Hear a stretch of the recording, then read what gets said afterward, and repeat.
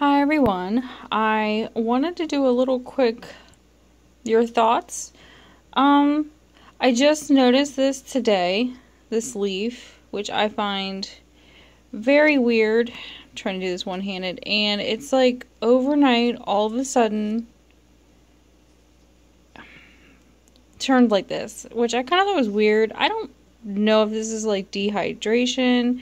I have a weird spot like right there that it looks but like it's not like water soaked. So my thoughts are dehydration? I mean i don't know. So i'm kind of like a little iffy on what i should do because you know the me you know the heather and me wants to just like cut it and oh, almost lost it. Cut it and disinfect, and I and I don't want to like jump the gun and do so many things that I traumatize it, but um, you know how you can look on like if you're looking for a diagnosis on yourself and you go on WebMD, and I know I used this for African violets before in a previous video how you can look and diagnose and like WebMD says you're like infected with a contagious disease, you need to be quarantined and you're going to die from it. So I, I'm really trying not to look too much into um, what this could be, and nothing really shows anything like this.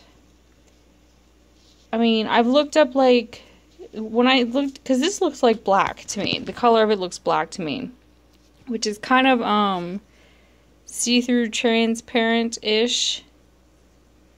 Um, and that gave me to like black rot, which it's not oozy. I mean, you can tell like it's just the more I talk about this, I realize this is probably dehydration. I just I just find it very weird that like yesterday I was messing with this plant and this was perfectly fine and now like today I look at it and I'm like, "Oh my gosh.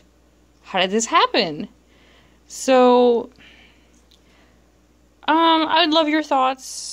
I, I, I may know some things about African violets. Orchids, I don't.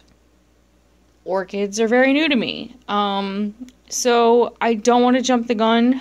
I would love your opinion. Um, and maybe kind of get a sense as if what I'm sensing is wrong is correct or not. Plus, this is a mini. I don't know how mini's different for regular phals. If they're the same, you know, I mean, I've noticed there's a difference in the leaves, but because these seem very thin compared to regular phals. So, let me know your thoughts because I'm curious and you know, if I have nothing to worry about and I just need to like water it, that's fine.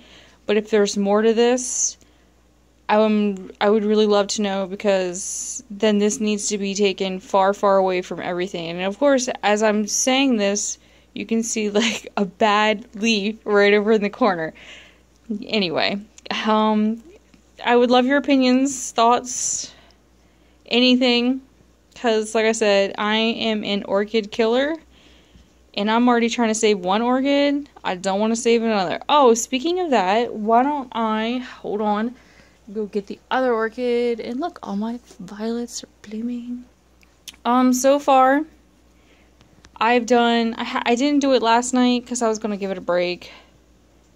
Um the tea and lemon trick this seems to do okay although when you flip it over it's just like but i think that's just from like being so floppy. Oh hold on. Um this leaf is kind of still iffy. Um i did take off the side leaf because I was also kind of tempted to see this is like really bad. I'm trying to do this one handed.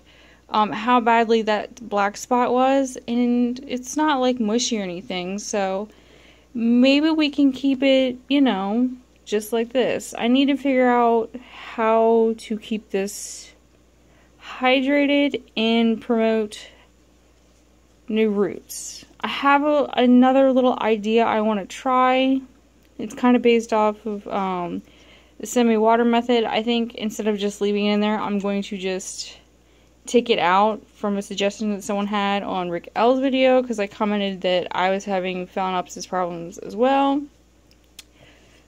So, yeah, um, like I said, please let me know what your thoughts on the other one. I probably should keep the sick one far away from the other possible sick one. And sorry, I'm trying to do this picking it up off the floor. But anyway, yes. So, thoughts, opinions, let me know cuz I don't want I don't want my whole entire orchids to go out either. orchids are a lot more expensive than these guys. Thank you.